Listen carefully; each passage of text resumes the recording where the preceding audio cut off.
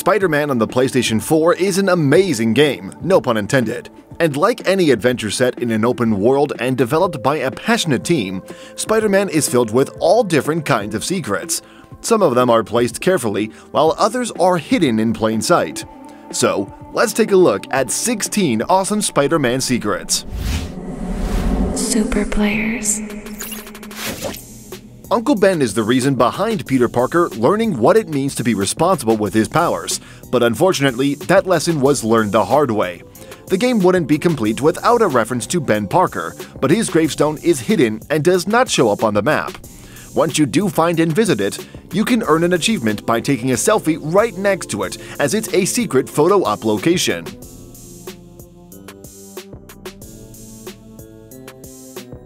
One thing that people who don't live in New York City might not know is that there is an iconic Wall Street Bull statue to be found in real life, which is located in the financial district. Since Insomniac Games tried their best to replicate New York as realistically as possible in the game, they wanted to add that statue too. Unfortunately, they weren't given the permission to do that and, as a result, they had to leave it out. Fortunately, they had a better idea, and it was to include a statue of Lockjaw instead which is an alien dog from the Inhumans comic series. Whether you're a fan of the comics or watch the long line of the Netflix shows based on the Marvel heroes, you'll appreciate the fact that Insomniac did not forget about these characters. You can find references to Nelson and Murdock's law firm and Jessica Jones' alias investigation department, both as buildings in Hell's Kitchen, which is exactly where they are supposed to be in their respective stories. You can also find the Rand Corporation building in the Midtown part of the city, which is owned by Iron Fist. Insomniac Games does not have a studio or office in the city of New York, but the developers changed that in the fictional world of Spider-Man. You can notice the logo of the company in a cutscene on a small speaker, while you can find a building with the logo too. Whether you've played Spider-Man 2 on the PlayStation 2 or not, you must be familiar with the pizza delivery missions thanks to the internet being obsessed with them. One of the most noticeable things about those missions was the catchy soundtrack that plays in them, and Insomniac Games remember it just as well as we do. If you go to a pizza shop in the financial district, you can stand next to its entrance, and once you pay close attention to the sound of the game, you will hear the pizza delivery background music play off in the distance. We all know and love Ghostbusters. Come on, you know you do. That movie was a fun part of our childhoods, and it seems like Insomniac Games is included on that list. You can find the building used by the protagonist in the movie at the intersection of Moore Street and Varick Street in Tribeca. If you had any doubt about this being a direct reference, you can go towards the back of the building and find graffiti that shows a funny looking ghost too, which makes it more than obvious that this is an intended reference to the beloved movie franchise. If you pay attention to the sticky notes in the game at one point where Peter Parker is waking up, you can see a note that says Call TS back, with the reason being a job offer. Additionally, you can find the Avengers Tower in the game too, as it's one of the highest buildings in Spider-Man PS4 and pretty much impossible to miss. Not only does this confirm that Tony Stark and the Avengers exist in the game, it even shows that Tony and Peter have met as he has to call Tony back personally regarding a job offer. The job in this case, of course, must be related to being an Avenger. The game has two major references to the Sam Raimi version of the Spider-Man live-action movies. The first one is a direct reference to the infamous emo Parker dance scene from the third movie where he was being weird to citizens and pointing his fingers at them as a part of a weird dance sequence. If you walk around the streets of New York, you can point to civilians in the finger gun stance, which resembles what Tobey Maguire did in the movie.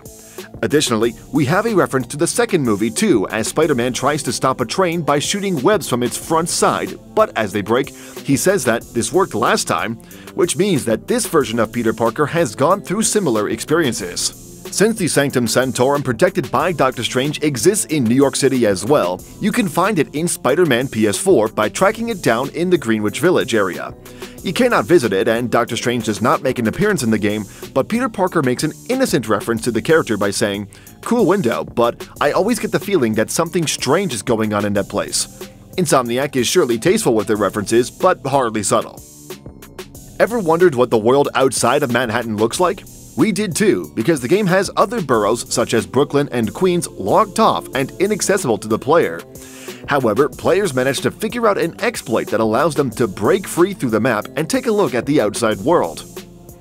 The glitch lets Spider-Man cross the Brooklyn Bridge by swinging underneath it, and this allows you to take a look at unfinished and poorly rendered buildings of New York that you normally cannot see.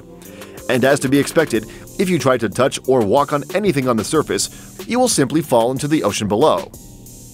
Another glitch that allows players to see something that they weren't supposed to is something that a few people might have heard of already the low polygon civilians and birds around the water bodies.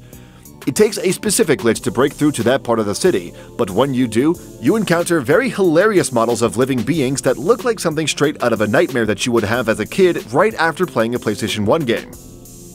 Everyone needs a place to unwind in, even criminals. After all, they're hardworking too. They need a place to get drunk and talk about their shady business deals just like any other normal person. Okay, we'll stop with the sarcasm, but you can find Josie's Bar in Hell's Kitchen in Spider-Man PS4. If you don't know about this place, it's a bar that is often featured in stories related to the Defenders, especially when Daredevil is involved.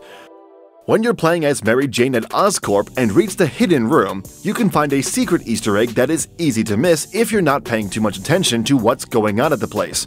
Although the game did not feature the Green Goblin, you can see three prototype grenades on a table that are very clearly the same grenades that Green Goblin has used in the comics, movies, video games, and cartoons to terrorize our friendly neighborhood Spider-Man for generations. While the game does not include the symbiote suit or an appearance of the Venom, there are certainly easy to miss references that you can find. The first one is in a collectible card that is given to Peter Parker as a good luck wish for his future endeavors by none other than Eddie Brock, as you can see his name written in the middle. Furthermore, Spider-Man jokes about going to a date to one of the characters in the game and she jokingly asks him if he has a black and white suit, which is a not-so-subtle reference to the black Spider-Man suit which he gets before Venom takes it away. And lastly, there is a secret apartment building that can be found in the northwest portion of the city. If you go to the windows of this building, finding the right apartment to stock will lead you to a shelf that has three Spider-Man action figures. One of them is of the black Spider-Man suit. Since Wakanda is one of the most advanced and influential kingdoms in the world of Marvel stories, it's no surprise that they do have an embassy in the New York City as well you can find it close to the United Nations headquarters in Midtown, and two Wakandan flags will be seen hanging outside of the building. You cannot see what's inside, and the Black Panther does not make an appearance in the game, but it's still nice to see the reference. The building reflections in Spider-Man can be a bit wonky at times, as you can see the Empire State Building as a reflection on most of them if you go high enough, even if it's not actually behind you. However, there is a reflection that is placed hidden in the game on purpose too, rather than a technical mishap. If you go to a specific building in the Greenwich district, going high enough on its glass will cause two tall buildings to appear as a reflection. However, if you look to your back, you will not see anything there as the buildings behind you look different. Still don't recognize that reflection? It's a tribute to the pair of the first World Trade Center buildings which were a victim to the tragedy of 9-11. It's a heartfelt way of keeping it in our hearts, as we will never forget. Super Players Thank you.